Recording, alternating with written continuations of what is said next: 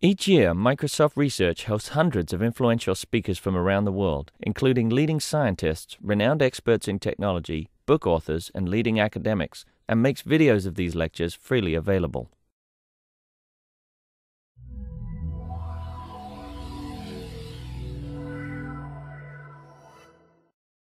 Um, today we have uh, Matt Welsh from, uh, from Harvard. Um, a little bit about Matt. Matt actually did his PhD with David Culler, and also I think he worked with Eric right. at Berkeley, work on uh, internet scale services. And for those of people in, in that community, you probably heard of uh, Matt's work. More recently, Matt has been focusing on sensor network, and in particular, working on figuring out how to program uh, these uh, small devices, embedded devices. And uh, Matt's talk today is market-based resource management for SensorNet. So with that. Great. Thank you very much. Um, so first of all, for those of you um, in the room, some of you, I'm sure most of you know about sensor networks already. Uh, some of you may not, so I'll have a little bit of introduction. What I want to say is that the work that I've been doing here has been in collaboration with my grad student Jeff Mainland and uh, another professor at Harvard named David Parkes, who's in the area of um, applying ideas from economics to computer science problems. So he's done a lot of very interesting work on you know, auction models and game theory and things like that. So when David and I got together, we started asking the question, how could we use these ideas from economics to solve problems in the sensor network space? So this is kind of where things got started. Um, so I'm sure most people here know what sensor networks are about, but in case you don't, the basic idea is to have very, very small very, very resource constrained devices that have a little bit of computation, very low bandwidth, very low power radio, modest amount of memory, and to have just a bunch of them scattered in the environment to do various kinds of sensing, computation, distributed signal correlation, things like that. There's been a lot of interesting applications for these. I'll talk more about it. Um, but the most important thing from the purpose of this talk is the fact that they have very limited resources.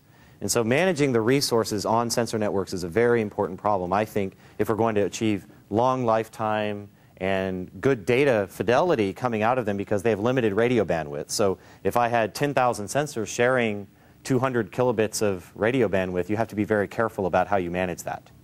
So this is the, the basic problem that we're trying to solve. So let me give you the canonical application, which a lot of people have been working on, especially my colleagues at UC Berkeley and other universities, on using sensor networks to track vehicles. And I'll just use this as an example to motivate the problem.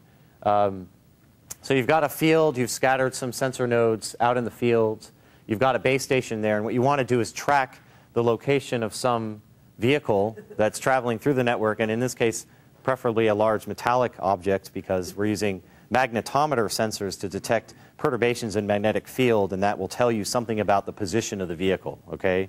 And this is a, the whole DARPA NEST project is doing this stuff, okay? So I'm not making this up. People are actually doing this. I have videos of this stuff working, if you don't believe me. But, um, and Alec, you know, Alec here is in these videos. It's pretty interesting.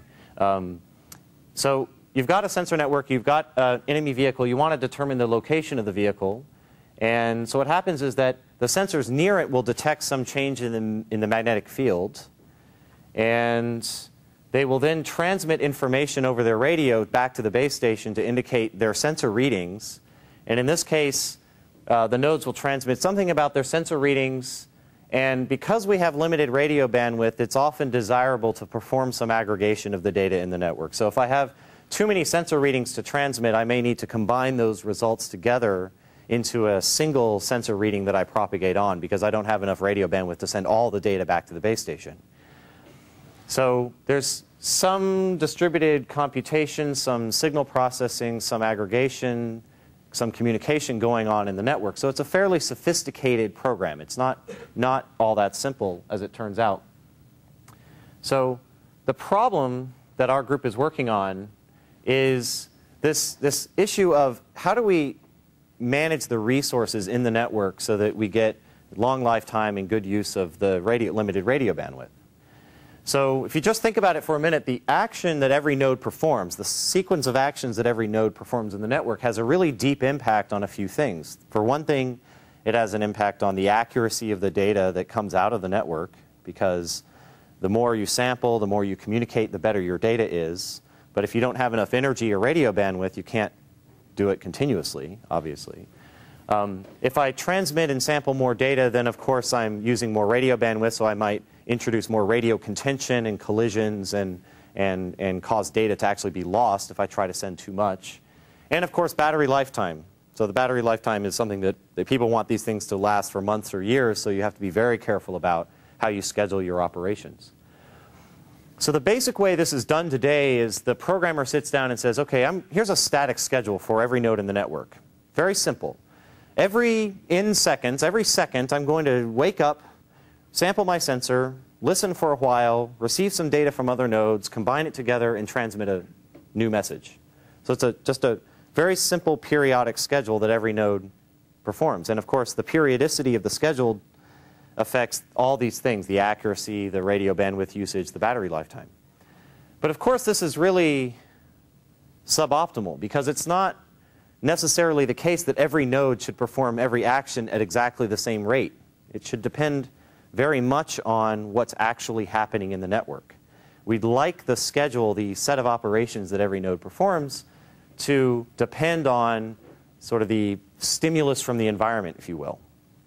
So for what the, one of the goals of our work is what I call self-scheduling, which is nodes should determine their own schedule based on their local state, such as where, whether or not the vehicle is nearby. If the vehicle is nowhere nearby, I should probably not be taking very frequent sensor readings because it's not giving me any useful information. Likewise, if I'm this node way out on the corner of the network, I probably shouldn't be listening to my radio all that frequently for incoming radio messages because no one's going to send me anything. Okay, so the individual nodes should decide what they're going to do based on their local state, not some sort of regimented uh, global schedule that was defined by the programmer. And secondly, we want the nodes to adapt to changing conditions. For example, if a vehicle comes near me, I probably should ramp up the rate at which I sample my sensor to get better data about that vehicle. Once the vehicle's moved away and I'm not getting good data about it, I should ramp down my sampling rate so that I'm not wasting energy taking sensor readings that are useless. So there's two things going on. We want the nodes to specialize their behavior and we want them to adapt over time. Okay? And doing this kind of simple static scheduling, which is the standard technique today, doesn't achieve either of those goals. So far, so good? You can interrupt me with questions if you have them. Okay, so when we started thinking about this problem, um, as I said earlier, the inspiration was coming from ideas in economics. And working with David Parkes, I wanted to ask the question, well, could we use ideas from economics? So it's a little bit about putting the cart before the horse, I'll admit that. That there are many other techniques we could use to address this problem. We decided to take an economic model first just to see where we would go with it. And I'll show you in a few minutes that we've actually moved into some other areas like reinforcement learning. So um, why might we want to use economics in the first place? Well, the reason it seemed attractive from the beginning was that First of all, markets tend to operate in a decentralized fashion, that we don't necessarily have centralized control of what all the agents are doing in a market. Individuals are making their own decisions based on their observation of the, the environment. So this seems to map well onto a sensor network. Uh, secondly, the individual nodes, they're, they're just being very greedy, and they're, they're trying to, in some sense, make more profit, if you will. And I'll describe later what I mean by that. But this seems to map well onto a decentralized process. We want to avoid centralized algorithms here for obvious reasons, which is the communication overheads would probably make that very uh, non-scalable. We don't want to centralize how this is done. Um, and finally, um, there's a lot of theory about economics that talks about how markets realize globally efficient resource allocations. And I don't want to claim that it's just, you know, we shut the door on that problem from a sensor network perspective, but because there's so much great theoretical work on using economic ideas for distributed optimization, we thought, hey, let's try this out in a sensor network context.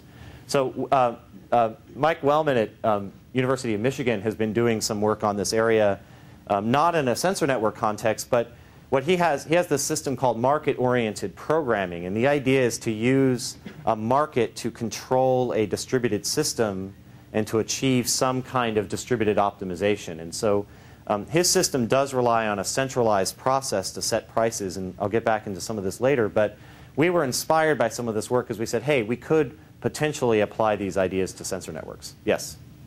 Doesn't most economic uh, theory assume that information is globally known? It's just that what's local is your, your local uh, uh, perspective. That's true. So, so one of the things that, for example, most market work assumes is that everybody knows what the prices are. Okay, that's a good point. And I'm going to get back into how we manage this later on, but you could really imagine doing this in a decentralized fashion where individuals don't have global information. It may yield less optimal solutions, but we still think we can move forward with that. But that, that's definitely a good point. Let me keep going, and then I'll get into the details, and all this will make more sense. So we have this um, programming model, or this resource allocation model, that we call market-based macro programming.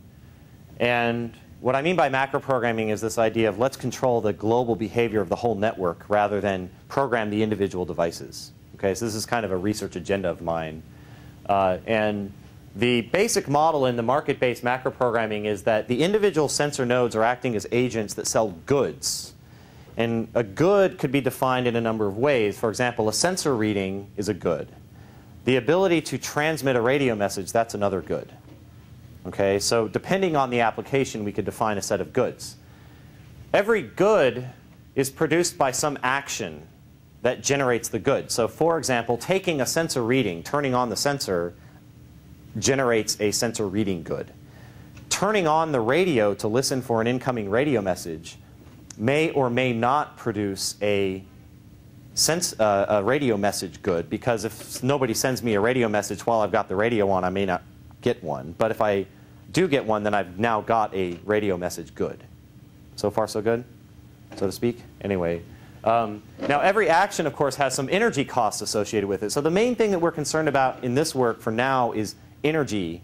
Uh, I'm not talking so much about radio bandwidth, although that's a very important problem. Mainly going to talk about energy. So the energy cost for each action that a sensor node can take, it actually varies a, an enormous amount over multiple orders of magnitude.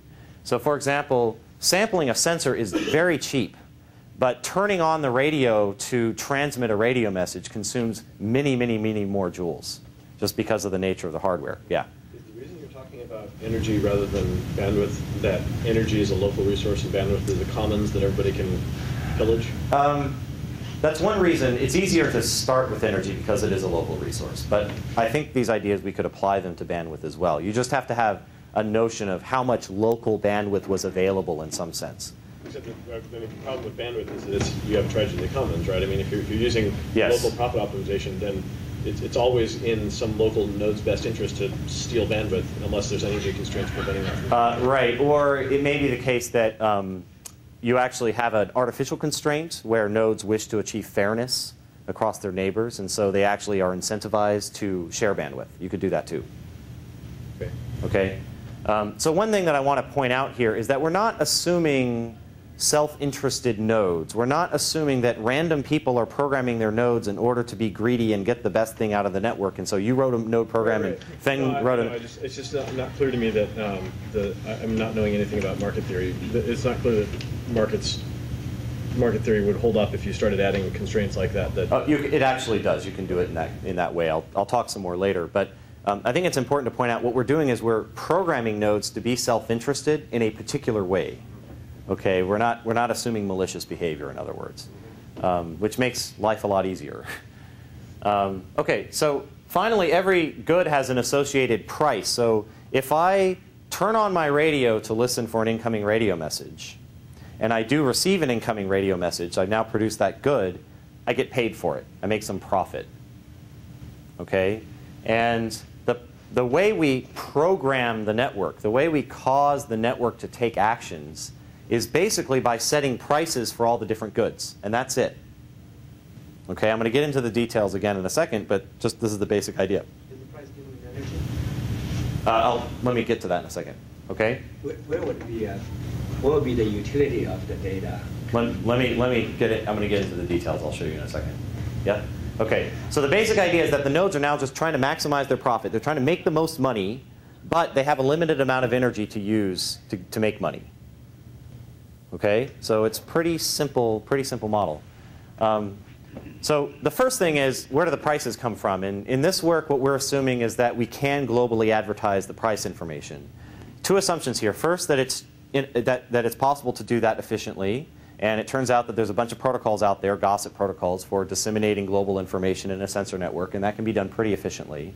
Secondly, um, that the prices don't change too often. So in other words, we don't have to do that all, all that much. So, um, so that what we would use is some protocol. There's something called Trickle. There's a bunch of other protocols out there that would let me basically efficiently propagate this global price information everywhere. It's also important to note that the prices are small. It's not like sending a bunch of information out there. It's like we have five actions and we'll have five prices, so it's you know a few bytes of information. It's not a lot. Okay. these prices going to change? I'm going to get into that later on. For now, I'm not changing the prices yet. I'm going to show you in a minute how we evaluate this, but um, we're starting. We're basically setting the prices once and then doing an evaluation. Okay.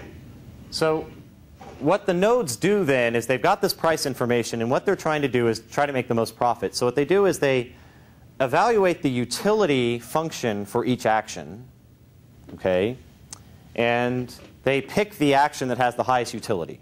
Yes? A bit off subject, but just now there's a talk in the other room about selfish agents working together. Well, we should get together and have this Maybe one in the other side of the room. and- Okay, well, um, so, so what the, the utility is, there's several things in the utility, and I'll show you some math in a minute, but um, basically the utility is, an, is a function of the price of the action, of course, um, the amount of energy availability. So if I have a little bit of energy available, but such action takes a huge amount of energy, then I can't take that action. So it basically has no utility to me. And other dependencies, data dependencies on the action. So for example, the action to aggregate multiple items, multiple sensor readings together into a new sensor reading, I'm not allowed to take that until I have acquired multiple sensor readings. Right? So there's a data dependency that has to be met. Likewise, I'm not allowed to transmit a radio message until I have something to transmit. It seems obvious, but you have to include that in the model. Okay, so the energy budget, there's a lot of different ways that we could model this. We chose a simple token bucket scheme. And the basic idea is that a node has some total capacity of energy that it is allowed to store up. You could think of this as your battery capacity, or if you have a, a, a capacitor or something that's storing energy for you. That's the total amount of energy you're, you're allowed to hoard. And taking actions drains that energy, energy down. So every action has an energy cost, as I said. And the bucket refills with energy at some rate rho. And the rate is chosen by the system designer to basically give the lifetime of the network. For example, um, if I give a rate of 1,000 joules a day, that's putting a bound on how much energy a node can consume. I'm telling a node, look, you can't consume more than 1,000 joules a day. So if you start out with you know, 10,000 joules, that gives you 10 days of lifetime. Does this make sense? So it's a very simple model, but there's other ways you could do this as well. Um, now let me talk about what the utility function really is. The utility function that we're using is in incredibly simple, and we could add all kinds of more complicated things. We actually started with something that was fairly more sophisticated than this, and it turned out that it didn't work so well, and I'll get into that in a minute. But the utility that we're using is the, for each action, the utility of the action is the expected profit. And the expected profit is simply the price of the action times the probability that you're going to get paid if you take the action. So remember what I said earlier about if you take an action, you may or may not produce a good. So if I turn on the radio to listen for an incoming radio message, someone may not send me a radio message. So I may not actually get paid for that, that action, meaning I wasted the energy, right? So the utility represents my expected profit. If the price is 10 and 50% of the time I get paid, my expected profit is 5. Okay? Um, we estimate this probability on the fly? uh, yes. So um, this probability that you're going to get paid, every time you take the action, you update the probability, and we use a simple, you could do this a lot of ways. We just use a simple exponentially weighted moving average. Yeah? So there's a hidden assumption you get feedback whether somebody was listening to you. That's right. So, uh, well, actually, it's the other way around. If I turn on my radio to listen, No, for listening, but if you talk, you to, how do you know somebody's listening? Yeah, so we just, we just assume that at the MAC layer of the radio that there's an acknowledgement that goes back. Okay, so this feedback that you, you brought this up, thank you for bringing that up. That's very important in this model, that the node actually knows when it took an action that was profitable. Okay, so let me give you another example just to make it clear. If I take a sensor reading and the sensor reading is very weak and it doesn't tell me that the vehicle is nearby, I don't get paid for that either. It was a useless, it was a waste of energy. So what a node is doing by getting this feedback is it's determining whether or not the thing that it did was a useful thing to do. Yeah. Who pays for the information? The other node that receives it or uh, some global god? The way we do it right now is very simple. The nodes basically pay themselves. Remember, we're not assuming that nodes are trying to cheat here, so there's no reason that they would. So they basically know when I take an action, they know, okay, I got paid for that or I didn't get paid for that, so they pay themselves. It is true that you could imagine some actions where a node would be unable to pay itself because it needs some other information from another node. For example, I don't know, if I sent some stream of sensor readings and the base station put them together and said, oh yeah, that was useful, I guess it could issue a payment later on back to the node. But now you have a feedback loop that's got some delay in it. For this very simple model, the node immediately knows whether it was paid. Uh, keep in mind that, as I said earlier, the utility function is conditioned by these dependencies on the action. There's two dependencies, whether or not I have enough of energy available to take the action and whether or not the data dependencies have been met. So the utility function could be zero for an action if neither of those conditions are true. Okay? So this is a very, very simple model, but there's a problem with it. Uh, the problem is that a node that learns that an action is unprofitable will never do it ever again. It'll say, well, the beta went to zero because I never got paid for turning on my radio to listen for incoming radio messages. So, you know, to heck with that. I'm not going to listen for radio messages anymore. I'm not getting paid for it. And that's bad, right? We, we don't want nodes to get trapped in some local minima where they don't, where they don't look for other opportunities for profit remember that we're, we're, assuming the network is dynamic. So the vehicle is moving around the network. So if I'm taking sensor readings and not seeing the vehicle, that doesn't mean it's never going to happen in the future. So I really want to be exploring for new opportunities for profit. I don't want to just stay stuck in one state. So the way we do this is a fancy term called epsilon greedy reinforcement learning, which is really a fancy way of saying most of the time I take the action with the highest utility, but sometimes I take a random action. Okay, so it's think of like simulated annealing or something. Sometimes I go uphill. Or past performance is no guarantee of future performance. That's right. yeah, it's the disclaimer on your E-Trade. Yes. Just assume a prior. Yes, we could do it that way too. assume prior. There's lots of so, as I said at the bottom. Well, I guess I said I said machine learning at the bottom. There's lots of other ways that we could do this. This is the chapter two of Sutton Barto. I mean, this is very simple, but we chose it to be very simple because it seems to work well, and we didn't want to do anything more complicated until we'd understood this one. Yeah. Would this random action be a good rationale for stockbrokers getting drunk from time to time? Yes. um, all right, but it's, it's very simple. And so what it's now doing is a node is mostly taking the action. And so think of this epsilon parameter here as the, I'm going to pick something that I don't know it to be profitable. I'm going to turn on my radio even though I don't think that there's any incoming radio messages. But hey, if there is an incoming radio message, I, I'm going to learn very rapidly that that was profitable. Okay, so by taking random actions, I'm potentially wasting energy. I might be doing things that is wasting energy, but I am looking for new opportunities for profit.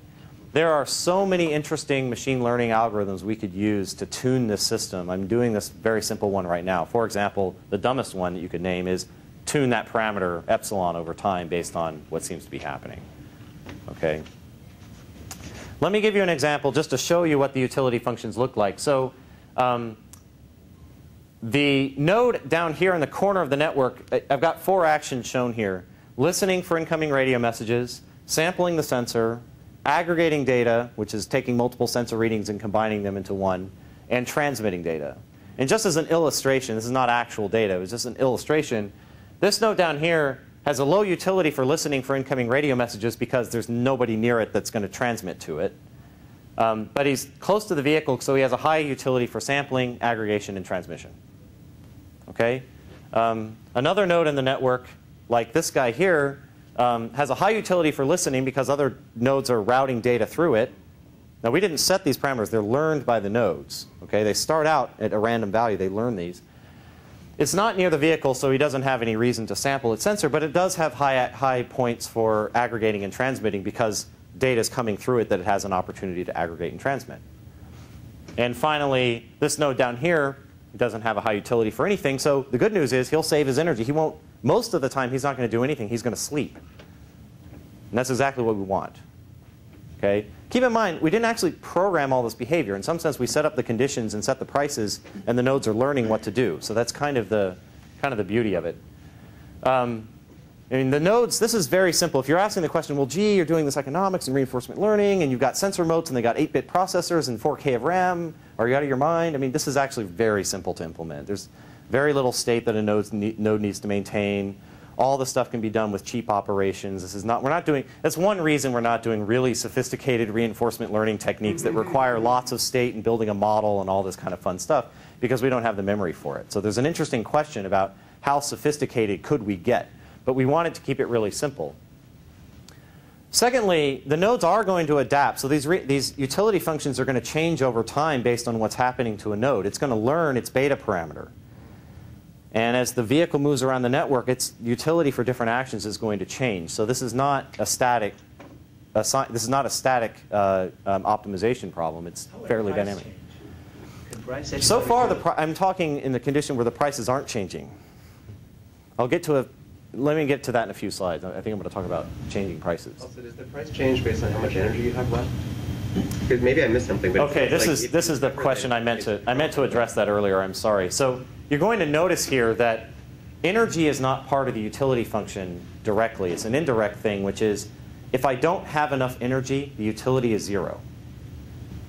What a node is not doing is directly trying to value energy. It's not saying, well, I've got a really high energy cost action and a really low energy cost action. Which one should I take now? So you always spend it if you got it.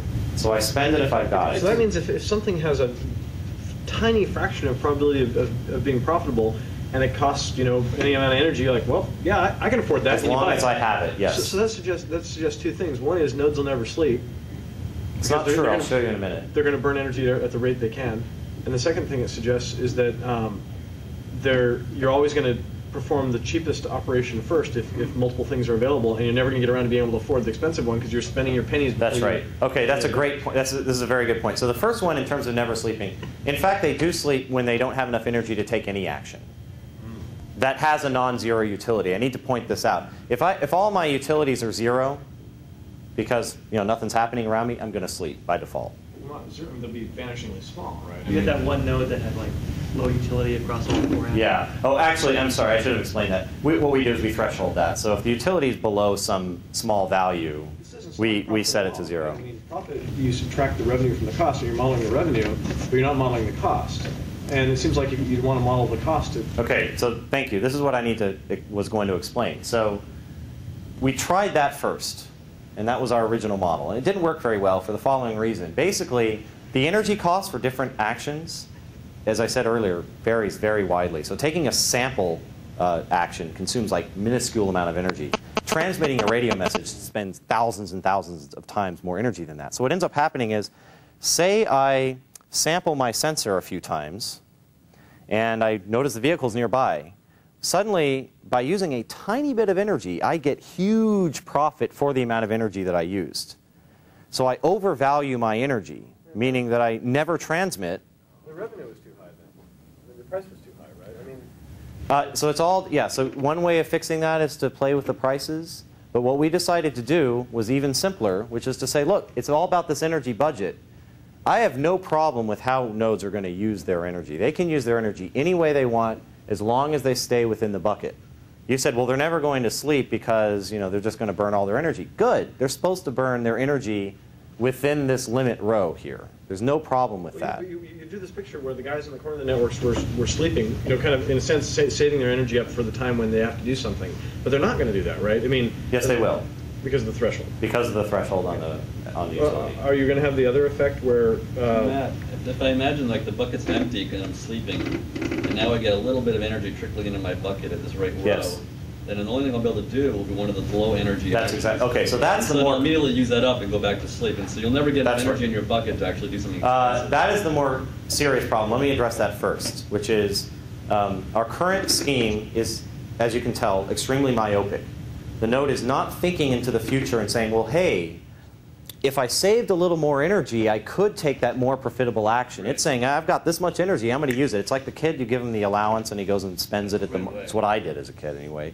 You just spend the three dollars right now instead of saving it for next week, or you get ten dollars. So certainly that's an issue. There's ways of fixing that, obviously, which is just to build a little bit more complexity into the learning scheme. So nodes can reason into the future about what profit they might have in the future if they were to allow energy to you're- but you're store up. it Sort of works anyway, despite you're not taking. It do, I'll show you in a minute. It seems to work anyway. I would, I'm not going to say it's optimal. I'm just going to say it, it actually happens to work. Uh, two things. Uh-huh. Uh, one is that basically uh, the business of repeated sampling, you should really reduce the value of an extra sample immediately after the first sample. Right, because yes, tank is right. moving that fast.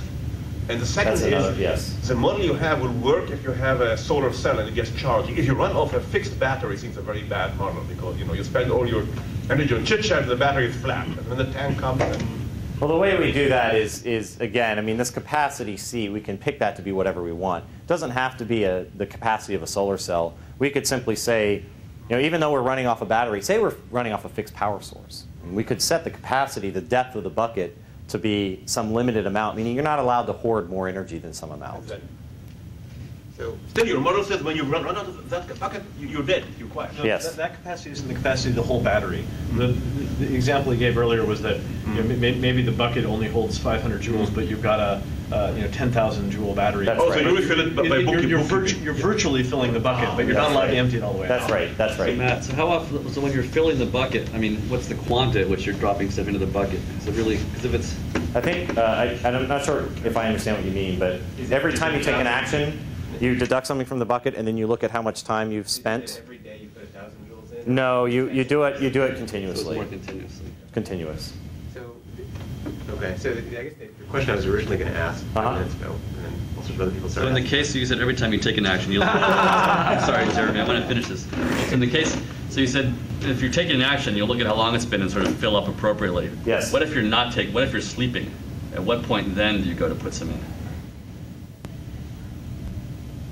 Um, I think, I, I'm not sure exactly what the import of the question is. I mean, basically, when you, what we do when you go to sleep is you sleep for some fixed length of time. So it's not like you sleep forever. You sleep for, say, a second or half a second, and then when you wake up, you say, okay, I slept for half a second, so this is how much energy I now have in my bucket. I'm just, I mean, I'm still trying to get back to how does a bucket ever have enough energy to let you do something expensive? It works, and I, I think this, what- and this may be the the reason that it If works. If you sleep for a second, if that accumulates enough energy to let you do something expensive, then that'll solve the problem. Let problem. me, let me, if you don't mind, let me go on because I'm going to show you the operation of this, and I think it will address some of these questions. Can I ask one quick question? Yes. Um, So they're worried, I- I'm sort of, I'm worried about the converse problem, or the opposite problem. So what they're talking about is you get a penny and you spend it immediately. Yes. I'm imagining, let's say you start and you've got a thousand joules. Yes. You've got this nice big bucket full of energy, and then you discover that it's profitable to sample.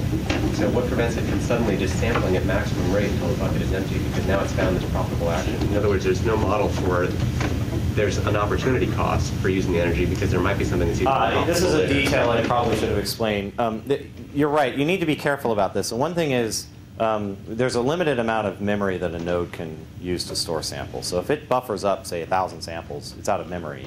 So it's not going to. That action is no longer going to be profitable. So it stops doing that. One way of doing it. Yeah. So, so this discussion on, on having, uh, uh, having a, a minuscule profitable operation being repeated over and over Yes. and over again, that assumes actually that the node is not valuing information properly. So, Right. uh, and that would not happen if the node was getting the feedback from its neighbors, if, if, if it was paid by the neighbors for the information, Mhm. because the other, the other node would say, okay, you already told me that you're, Right. you're seeing a tank, I don't care that you're seeing it again. That's right. Tell me where you're not seeing it, that's, what I want to hear. Well, there's another. That's one way of doing it. Another way of doing it is just to throw in another constraint, which is, you know, if I've sampled more than ten times in a row, there's no new information to be gained by doing it more, so I'm going to stop doing that now. Okay, let me go on. I'm going to show you how this works. You, I think these are very good suggestions, though. We have played with some of these ideas. The, the other thing that's a little bit interesting here, and we didn't expect this, but once you think about it, it makes sense, that the fact that nodes are getting feedback based on which actions were successful means that there's some natural balance or equilibrium. I don't mean like economic equilibrium, but I mean natural balance in the system about what fraction of nodes are doing what. So, for example, the number of nodes listening for incoming radio messages tends to be in balance with the number of nodes that have something to transmit. Meaning that if I've got very little to transmit right now, nodes are not turning on their radio to listen for incoming messages because they learned in the past that it wasn't profitable to do so. So they power down their radio. So one way of thinking about this is we accidentally implemented some of these duty cycling radio, you know, radio um, ad hoc duty cycling protocols. We didn't mean to do that, but it, it sort of emerged from the way the system was built. Um, and I, I've already mentioned that you can control the network with prices. There's a question about how general that is. It, it, with our current scheme, it's very simple, so it's not obvious to me that you could get any, perform, any behavior over the network just by setting different prices. But I'm going to show you in a minute. We haven't told the system here that it's tracking vehicles. And you said four prices. Four- four We prices. basically set four prices. And we set the four prices out, and nodes do stuff. So the question is, how, you know, what, what range of behaviors can we get out of the network just by changing the prices and nothing else? All right, the way we evaluated this initially was in simulation, and we have a, this is using the TOSSIM, TinyOS simulation environment. So it's very, very detailed simulator. It's, it gets down to the hardware level of the mote. So we actually believe that this is fairly reasonable. It doesn't abstract away too much. We have 100 nodes here, and the vehicle is moving in this circular path here at some rate. So we just wanted to excite different parts of the network by moving it around in a circle, and moving it in a circle meant it was deterministic, so we could know, we could, we could run multiple runs and the vehicle be in the same place each time. And the, the nodes use this, these green lines show the routing paths, and we're using GPSR, which is a simple geographic routing protocol, um, to do the routing. So the first, uh, oh, and before I go on, we needed to compare this to something, and it's a little tricky. What do you compare this to exactly? It's not like we can go pluck some, you know, random vehicle tracking code from somewhere and it's going to run and make sense and do the same thing. So we tried our best to implement what we thought represented the other way of doing node scheduling, which is, as I said earlier, the static schedule where nodes are basically given a fixed rate at which they perform the actions. Um, so that was the first one we implemented. Some people on the first paper submission said, well, this is a straw man. You should do something more complicated. So we did dynamic scheduling, which is a node looks at its energy availability and it turns up and down the rate at which it does this schedule based on the amount of energy available.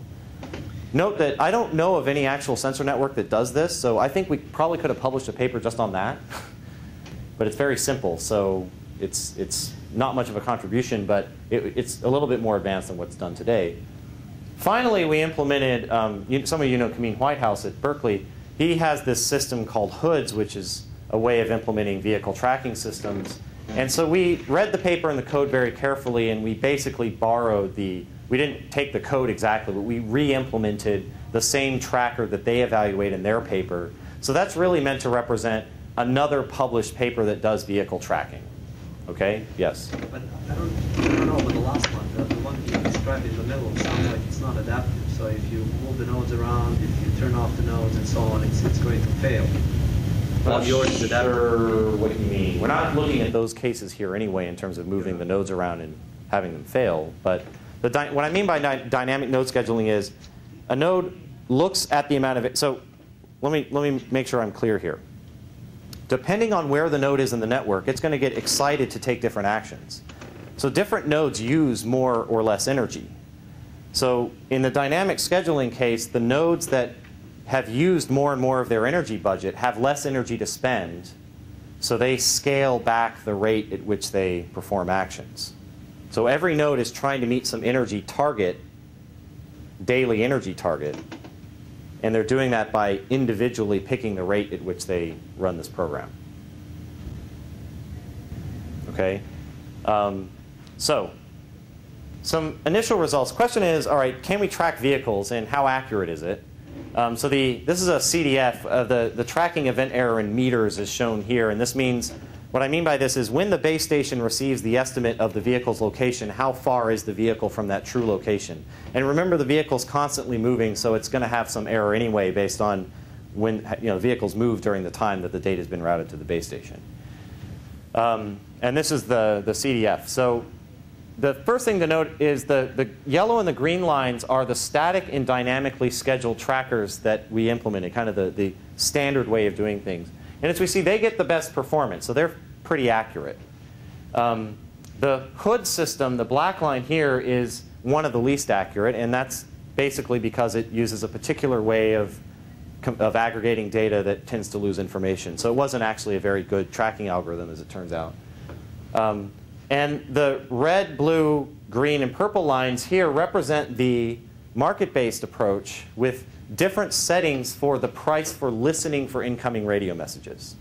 So what we did was we just set the, the, all the prices for the other actions to be the same value, and we turned the knob on one of the prices and then ran it over and over and over again to get these lines. And what we, what we see is if the price for listen action is 15, which is, you know, in some you know, relationship to the other prices, then the performance of the tracker is pretty good. It's almost as good as the statically scheduled version.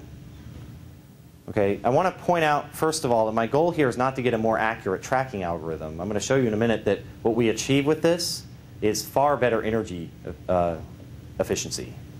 Okay, but we're close. So we're ballpark in terms of being able to track the vehicle. But if I turn up the price or turn down the price for the listen action, then I have some degradation in performance. So lesson number one, prices matter. And the question now is, how do I set the price? It's a big open question. So something that we're still working on. But um, one thing you're going to notice here, the listen price for zero means that nodes should never turn on their radio to listen for incoming radio messages. So how on earth is any data getting to the base station? Well, the base station is assumed to be powered and always listening for incoming radio messages. So what's happening is these, this data is only being received from the nodes that are right next to the base station. Okay? So there's still some data there. Let me give you a picture of how the market-based mote is running using this algorithm. So this is a fairly um, complicated diagram. Time's on the x-axis. The actions taken by the node, this is looking at one node, are shown here. So there's a dot when in action. So at this point in time, the node took an aggregate action. What's happening is this is a node that's along the vehicle's path, and the vehicle is far away, and it's moving near the node, and then it's driving on, and it's moving away. Okay, it's moving along that circular path. So at this time here, the vehicle approaches, and the green line shows the probability of payment for taking sensor readings, which, as we would expect, shoots up when the vehicle's nearby and drops back down when the vehicle moves away. During the time that the vehicle is nearby, the node spends less of its time listening for incoming radio messages because it's suddenly being paid a lot more to aggregate and transmit its data to the base station because it, now it has data to send. Aggregate? What's there to aggregate? You're not hearing anything from other people. You're aggregating your own samples together. So you have a choice. You either get to take a sample and transmit it, or take several samples, aggregate them together, and transmit it. Um, but there's a caveat here, which is because this node gets very excited, it starts using more of its energy, so its energy budget drops down to zero, which means that it has to sleep. so this is a little funny. It means that because transmitting consumes so much radio energy, uh, so, so, much battery, uh, so much energy, it means I'm now sort of forced to, to sleep during the, during the time that it mattered the most.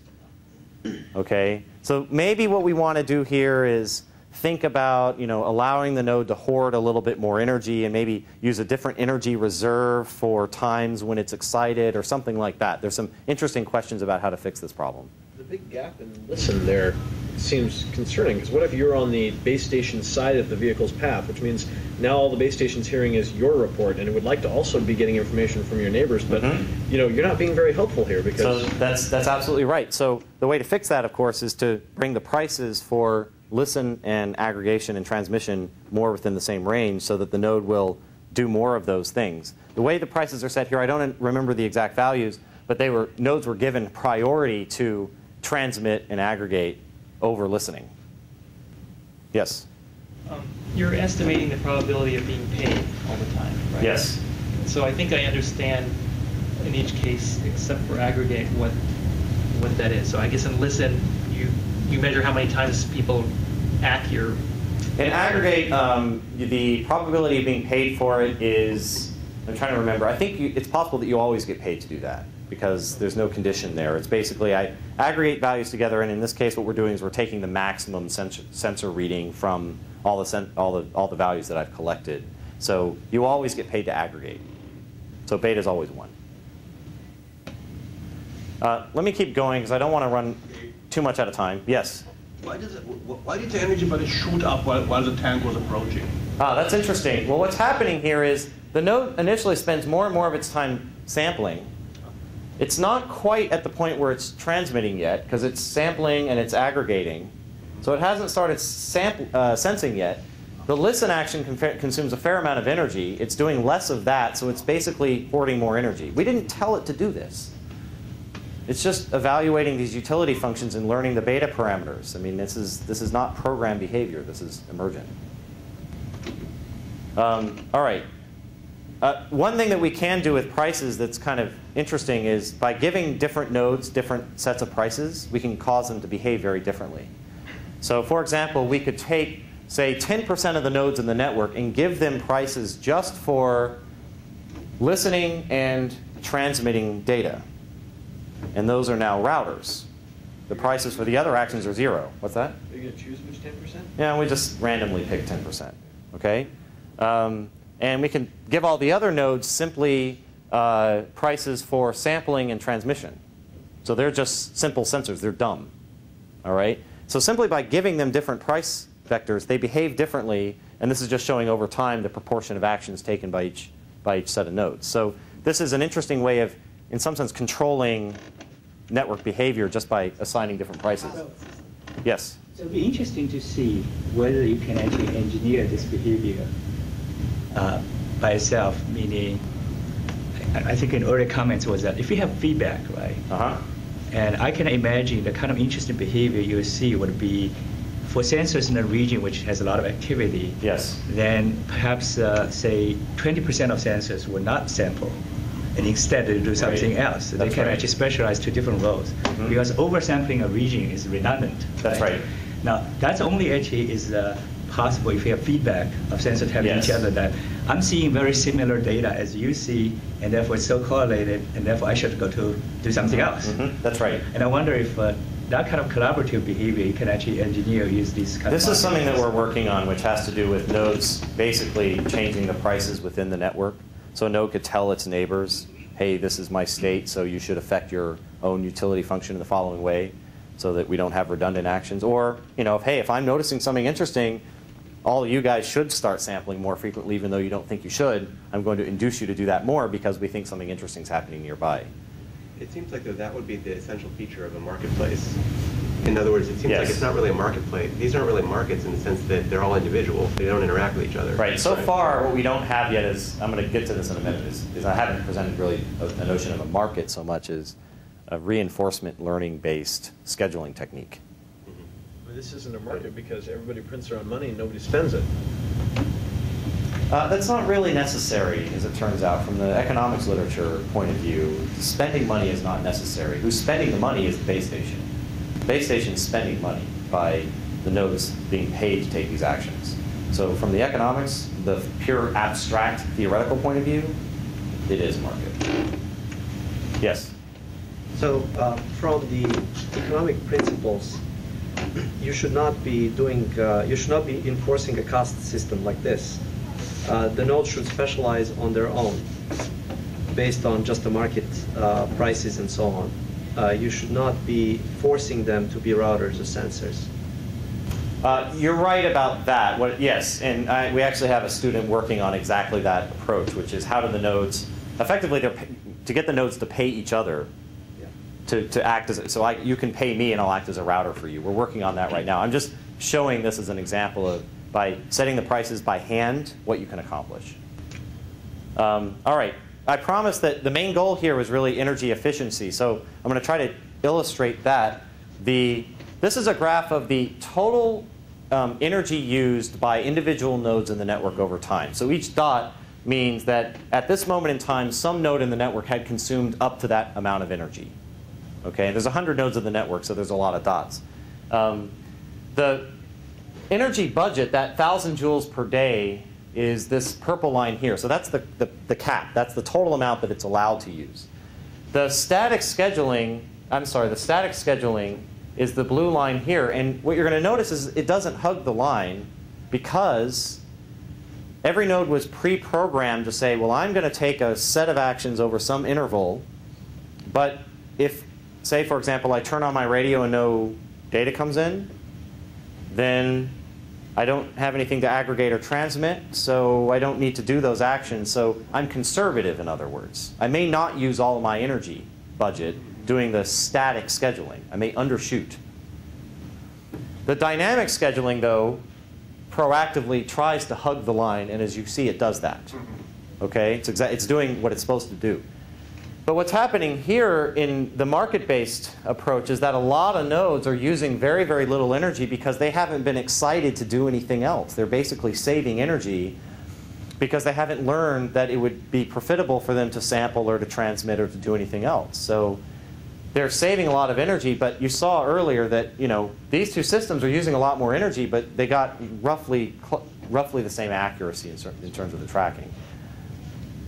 Another way of thinking about this is efficiency. And my metric here, and I think this is a very important metric um, to think about, is the, the efficiency, the energy efficiency of the system is the total energy used to actually collect meaningful sensor data at the base station, meaning data that resulted in position estimates of the vehicle being tracked, useful data, divided by the total amount of energy used by all the nodes in the network. Okay, so for example, every node that, that listens and receives a message and forwards it to the base station and samples, and all that energy is counted as being useful energy, energy that resulted in the base station learning something.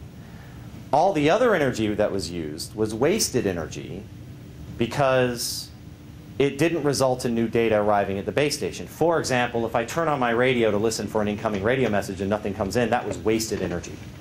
Does this make sense so far? Yes. Why does the efficiency go up when you supply more energy? Most, you, most, most things get less efficient to use if they're. Uh, I'm going to I'm going to tell you. Let, let, me let me explain this, and I'll tell you. Okay. So if you look at the numbers here, what we did was we took two energy budgets, one which is 1,000 joules per day, and another which is 3,000 joules per day. And what we see is in all cases, we're more energy efficient, meaning the nodes waste less energy. Now, the reason they do this is that they're dynamically tuning the rate at which they do each action based on whether it was profitable. So they're learning not to waste energy. This is not incredibly efficient, but of course, neither of these. Okay? This 95% efficiency, that means that only 5% of the energy used by the whole network was wasted in data not arriving at the base station. That's an amazing, that's amazing result. The reason that they become more efficient when you provide them a bigger energy budget is that they are less constrained by the actions they can take. When the energy budget is 3,000 joules per day, it's effectively unlimited. Meaning that problem we discussed earlier where a node would take the really low energy actions because that's all the energy it has, doesn't happen here. So that suggests that this is a problem that we do need to solve. But I know the other two also increase in efficiency. There's something funny going on. Uh, but they're doing something very, very similar. And in fact, this is, this is not much of an increase. Yeah. But have you, have you plotted uh, curves that trade off energy and precision? Because you can compute the average energy that's... Yeah, we have a lot of stuff on this in our paper. Oh, yeah. Yeah. I mean, the more energy available, the, the much better the results are. No, I, I mean, in comparison to other techniques, the other techniques are spending some energy and giving you some precision. Uh-huh. So you have it in two separate graphs, but you could somehow put them on the same graph. You compute the uh, average energy being spent, and as you increase the increase the average energy, Yes. you get more and more I precision. think, I think we have these So graphs in the paper. what do these paper. curves look like, and where do they intersect? Yeah, it's very difficult. We don't have a we have points. We don't have full curves because each one of these simulations takes hours to run, and so we haven't tested with all the possible points. Hey, what, what you just pointed out, if you have some metric like uh, bit precision per joule type Yes, of uh, right. metric, uh, then potentially can actually use that to uh, engineer some interesting behavior when this agent take action. Yes. If it's uh, you know doing gradient ascent in, in that Uh-huh, particular uh-huh, direction. uh-huh, right. Right. And that's the that's the local gradient that you want to establish. Yes. Yes. If you believe economics is a, is a business of allocating scarce or relatively scarce resources, this 36% means something is badly broken with your, with your allocation model at a, at a 0.7 watt. Well, what's probably happening here, because the it's, again, it's 1,000 joules per day, it's a very limited energy budget, the nodes are effectively the exploration cost of doing actions that were potentially not profitable is hurting them more. Know, the random stuff is, The random stuff is hurting them more. is wasting that. Two-thirds of the energy goes on random stuff because that's only, if that is. Uh, no, let me tell you another reason why, okay? You have to keep in mind, uh, counting the useful energy as only data that eventually arrived at the base station. So here's the problem. With the low energy budget, not enough nodes may turn on their radio because they don't have enough energy to do it. So if I generate data and transmit it to you and you're not listening, wasted energy. Oh, so this doesn't take the utility of the data into account, though. It's basically counting how many packets arrive at the base station. What do you mean utility of the data? What, so from what you just said, it sounds like if you take, if you just sample all the time and transmit all that data back all the time, then you'd be at 100% efficiency even if the tag never went through the, the network. So this is not useful data per Uh, se. no, um, uh, For that matter, if you only transmit it you would normally be right, free. except for what's happening is we're only transmitting data for, I mean, the, the sense, the samples of when the t- tank's nowhere nearby get rejected by the nodes anyway, so they never get transmitted. Mhm. It's part of the, the getting paid for doing that action. Let me keep going because I, I want to finish up here, but let me talk briefly about where we're going with this. So what I've been mainly talking about here is a case where the nodes are adaptively learning their schedule. Now, the, going back to markets and what, what you just said about you know, allocating scarce resources, that's really what this should be about, which is we've got multiple competing users fighting over a scarce resource, and we want to allocate those resources in a decentralized fashion. So this is work in progress, is what we're working on right now. Um, the context is, we're, um, I'm not actually doing vehicle tracking at Harvard, so one of the things we are doing is medical sensor networks. And the idea here is that you'd have a lot of different patients outfitted with wireless sensors that, in this case, I've got a, um, an EKG that we developed and a pulse oximeter. Both of these are, I mean, I can talk to you more about them later if you're curious, but these are vital sign monitors based on the motes. You've got some other motes. Maybe these are on other patients. Maybe these are fixed in the building or something, okay, but they're there to route data. And a doctor might say, for example, I want to receive an update on patient A every 30 seconds and look at that data on my PDA. Okay, we have a PDA application. It's actually using uh, .NET Compact Framework. It's pretty cool. Uh, and um, so that data would get routed back to the doctor through some path, and we were using an ad hoc multicast routing protocol to do that. And this EMT down here may say, well, I only want to receive updates on patient B when they're critical. In other words, when their heart rate goes beyond some, some um, certain percentage. And let's say the data gets routed through this central node here. So now we've obviously got you know, some contention where we've got limited bandwidth here, but we've got two users that want this data and they're fighting over this limited bandwidth and energy. So what we really are working on right now is using this market-based idea to, to get true equilibrium in the network.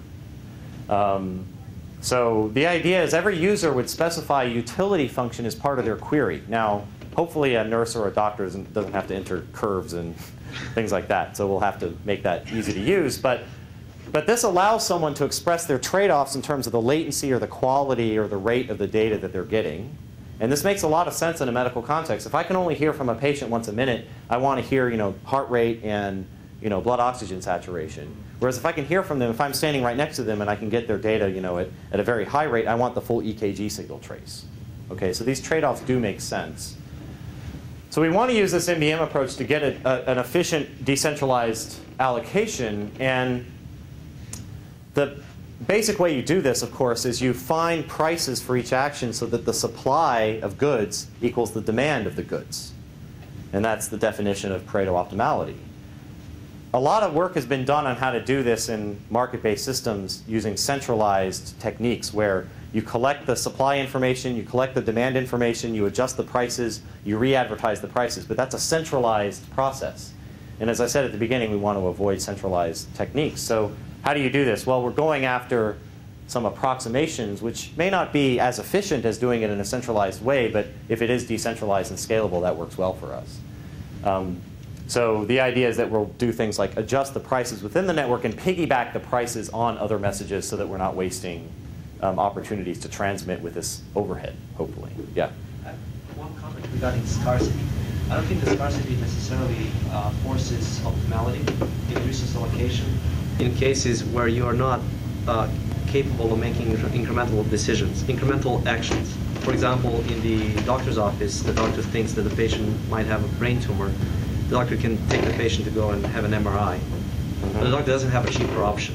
The doctor cannot do something that's half the cost of an MRI and get half. Oh, I see what you're getting at, yes. So, so, and that was that was sort of what you were you had in your network. There were sort of quants of information and Mhm. quants of price that you could get. Right. And because of that, you need to expand the budget so that it becomes kind of um, small. At least becomes incremental in terms of the total budget. Mm-hmm. Right, right, and, right, right. And, and I think that's true even in these larger networks. That's Mhm. that's the reason why there is national debt as well. I see. I mean, yeah, so these are things, so David and I have been talking about a lot of these, and, and it, it's very interesting because the theoretical work that's been done in this area, hard to see how it applies in a sensor network context. So it, we may have to abandon kind of traditional ways of thinking about economics, and I'm not wedded to economics, so to speak. We're using them as an inspiration, but if we have to develop something different that's going to work, that's good. Do you have a question, Alec? Yeah, I'm trying to approach a more fundamental question of like, uh, when I think about economics or market-based uh, algorithms, they're thinking about trying to reach an equilibrium with individual agents uh, doing selfishly, for example, or as a cooperative, cooperative games. That's right. But uh, in sensor networks, you're probably not going to see equilibrium. Like the tanks move around, it's actually creating this, this, this equilibrium. That's right. Then how are you going to actually apply uh, markets which try to obtain equilibrium to solve this problem? And especially when Right. you have things that is uh, actually co- correlations. It's a very important thing where it goes beyond the individual agent. That's right. And the color and the coloration has to actually also change too.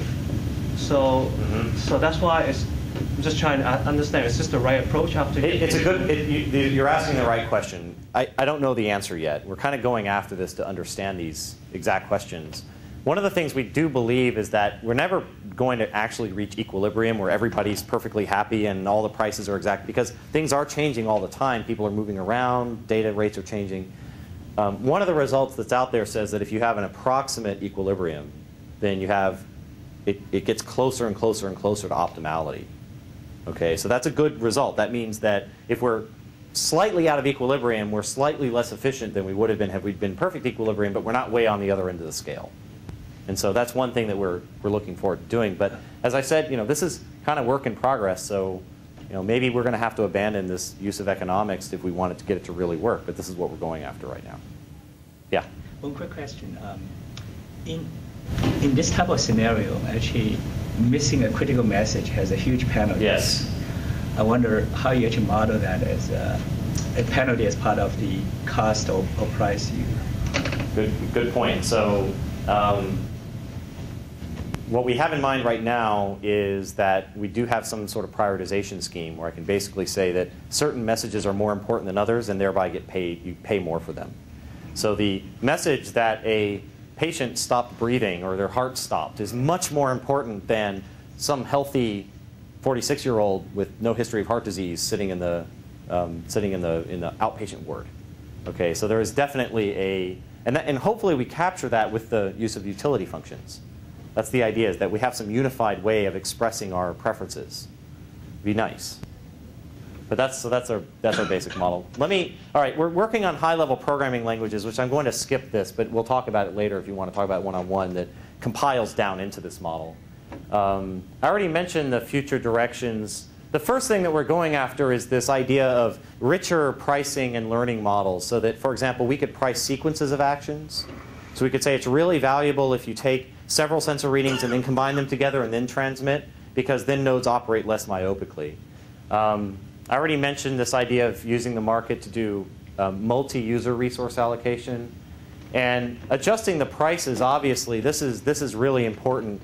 Um, one way we've been playing with this already is you could imagine programming certain nodes in the network as sentries. Everybody else has pri no, zero price for everything, so they sleep. Some nodes are awake and they're paying attention, they're cognizant of the environment. And when they see an interesting event, they propagate new prices to their neighbors that say, hey, wake up, you need to start taking action now. So the price propagation can be a form of distributed control. Um, all right, so just to wrap up, I mean, basically what we're interested in here is new techniques for doing resource allocation in sensor nets. And we started with this project thinking about how do you program a sensor network using prices. We ended up at a place where we said, well, the, the, core, the, the core problem we're addressing is how do I schedule the operations of individual nodes adaptively so that they use their energy wisely? And the main technique that came out of that was a real simple form of reinforcement learning. Going back to the economic side of things, it started within the context of can we use markets and economics? And so we think that that problem really comes back when we talk about multiple users fighting for some limited bandwidth. Less interesting on the individual node scheduling case, but these two do hook together. So um, I think the, the pointers here, we have a paper on this that's going to appear in NSDI. Uh, and we also have a position paper about this idea that we already presented at the SIGOPS European workshop. And my webpage and email are there. So thank you very much. I'll take any other questions now. Yes? Uh, you, you had one explanation for this funny uh, behavior, which is that uh, at low energy, people talk when others don't listen and listen when others don't talk.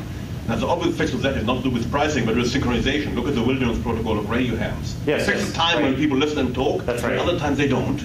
That's right. So one thing that we've been playing with as well is could nodes not learn just, an, just a sort of an expected profit for each action at some arbitrary point in time, but learn that over different time slices, time slots. So I could learn, you know, Fang was sending me messages at these at some regular interval. I would learn that it was profitable for me to turn on my radio and listen at these time slots, and I would turn off my radio at other times. So it's kind of a self-organizing TDMA. So we're actually playing with that idea, and it doesn't require a lot more state. You just have to remember the, the a, a beta for each action at each time time slice, not just for all time.